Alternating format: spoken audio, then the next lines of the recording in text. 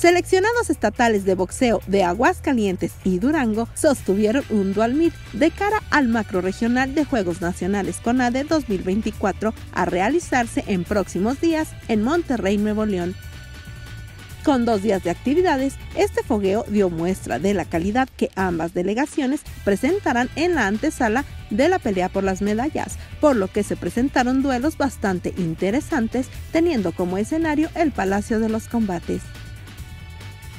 Fueron más de 30 las peleas registradas en las categorías junior y juvenil, con todas las divisiones correspondientes en acción, siendo los protagonistas de Aguascalientes Regino Álvarez, Ángel Hernández, Óscar Hernández, Hansel Dovalina, Santiago Jasso, Alan Ibarra, Cristo Pérez, José Ruiz, Justin Bazán, Rashard Álvarez, Ángel Cabañas, Manuel Valdés, Santiago Romo, Román Cortés, Aldo Martínez, Antonio Aguilar, Julen Solano, Juan Diego Flores, Edgar Castañeda, Cristian Soria, Gloria Flores, Jennifer Villa, Nieves Durón, Evelyn Sánchez, Adán Medina, Alejandro Alvarado, Alondra Michel, Mario Vera, Cristian Sánchez, Felipe Aguilar y Antonio Domínguez, todos ellos encabezados por el profesor Osvaldo Santiago, entrenador y delegado.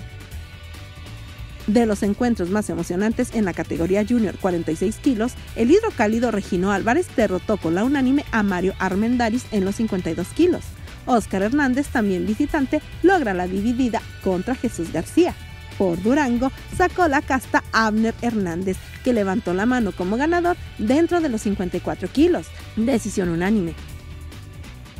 La categoría juvenil también registró peleas de emociones fuertes, como la de Isaac Escalante de Durango que vence a Santiago Romo con la unánime, ellos dentro de los 51 kilos. En lo referente a los 54, se enfrentaron Román Cortés de Aguascalientes y Luis Martínez de Durango, combate que concluyó con la dividida para la visita.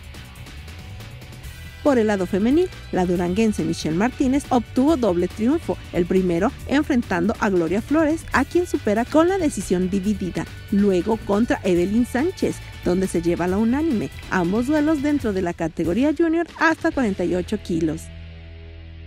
Por la línea de banda, Dora Elida Valdés.